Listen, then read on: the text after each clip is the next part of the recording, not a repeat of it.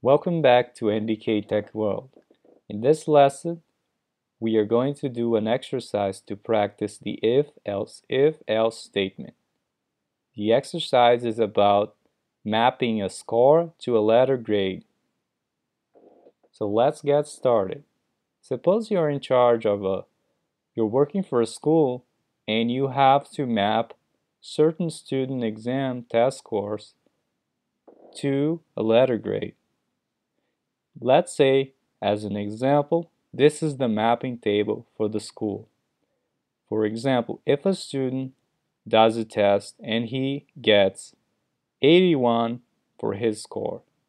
Now, according to this table, if you get between 80 and 89, you should get a B as your letter grade. So that's what the student would get.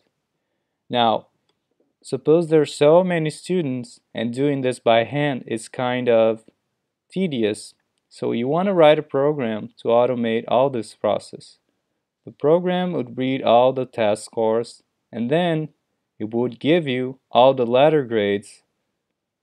So how can we accomplish that? We want to just focus on the part of mapping the score to a letter grade. Okay? So looks like we have some cases here. We have the case where if you get between 90 and 100 points, you're going to get an A. That's the first case. Then if you get between 80 and 89, you're going to get a B. If you get between 70 and 79 points, you're going to get a C. If you get between 60 and 69, a D. And if you get any other kind of points that is below 59, you get an F, you fail. So we have five cases. So how would we accomplish this? Let's go back to the if-else. So we know we can do two cases like this. If, else, and then we learn about if, else, if, else. We can do three cases, but we don't really know how to do five cases. Now, the beauty of else, if is that you can add as many as you'd like. So it doesn't have to necessarily be just one else if. So you can actually have multiple. You can have another else if in between and that would be four conditions. You can add another one and it would be five. So one, two, three, four, five conditions. So this is actually what we would use to solve this problem.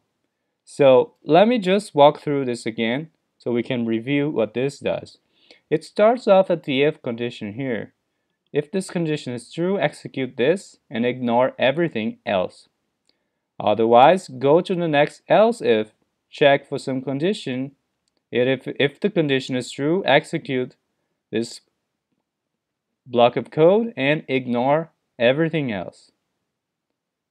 Now, if this condition turns out to be false, it goes on and checks the next else if condition.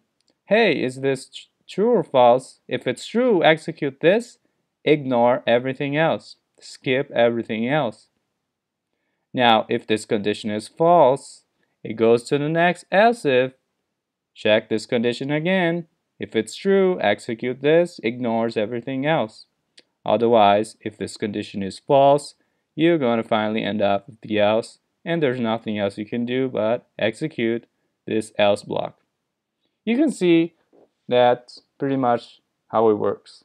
Kind of a bit tedious to walk through, but remember to always walk through if you find yourself confused about what's going on. So this is what we're going to use for this example. It's pretty much that. We just got to figure out the conditions.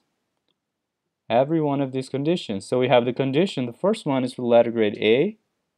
The second one is for B, then C, D, and then finally F, which is the case where we don't really care if all the others condi other conditions have failed, then it has to be an F grade. So let's write it out.